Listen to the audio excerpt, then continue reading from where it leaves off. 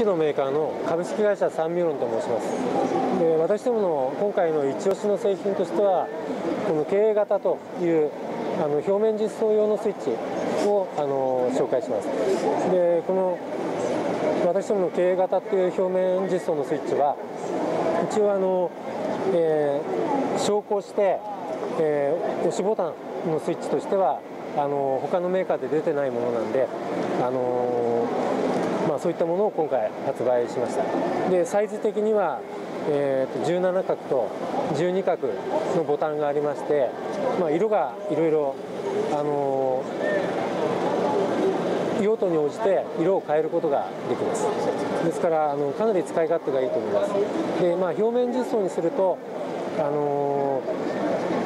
まあ、実装コストがかなり下がりますんで、えー、通常リップタイプのハンダタイプのスイッチに比べると、まあ、あの実際に採用していただいたところだと、えー、工数が半分ぐらいになっていると